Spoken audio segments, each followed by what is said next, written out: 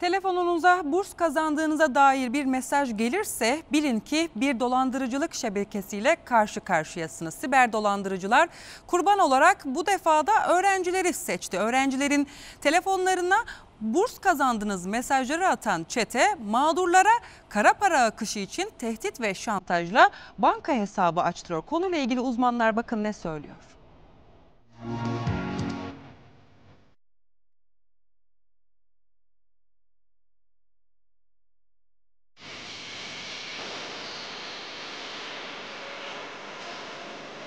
Telefonunuza hiç size burs vereceğiz diye bir SMS aldınız mı? E, geldi. Nedir içerik? Genel olarak işte ücretsiz burs kazanmak ister misiniz diye bir içerik gelmişti. Siz ne yaptınız peki? Spam olduğunu anlayıp direkt kapattım mesajı. Telefonunuza burs vereceğiz diye bir SMS aldınız mı? Hayır almadım. Gelseydi böyle bir mesaj inanır mıydınız? Hayır açmazdım bile. Direkt silerdim. Siber dolandırıcılar bu kez de burs kazandınız yalanıyla kurban aradı. Emekliler ve ev hanımları derken bu defa hedefte öğrenciler vardı. Okulların açılmasına sayılı günler kaldı. Siber dolandırıcılar da bu defa öğrencileri hedef aldı. Telefonlarına gönderdikleri burs vereceğiz SMS ile hem kişisel verilerine ulaştılar hem de bilgilerini ele geçirdiler. Burs vaadiyle çok fazla reklam ve SMS karşımıza çıkıyor. Dolandırıcılar öğrencilere bu SMS'leri gönderiyorlar ve okulların açılmasına günler kala burs vereceklerini ifade ediyorlar. Kimi yurt arıyor, kimi okul kayıt işlemleriyle ilgileniyor. Ama rahat durmayan dolandırıcılar öğrencileri burs vereceğiz vaadiyle ağlarına düşürmeye çalışıyor. İnanmazdım ben. Neden?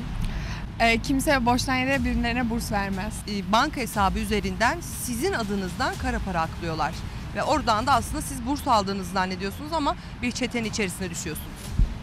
İnşallah olmaz böyle bir şey. İşte Çağan da telefonuna burs vereceğiz SMS'i gelen öğrencilerden bir tanesi. Fakat kendisi bu SMS'in bir dolandırıcılık olduğunu anladı ve o mesaja geri yanıt vermedi. Siber çete öğrencilerin kişisel bilgilerini alıp bir banka hesabı açıyor. Ardından da o hesap üzerinden kirli bir para akışı başlıyor. Bu burs vaadine kanan, inanan öğrenciler öncelikle dijital bir para cüzdanı açıyorlar.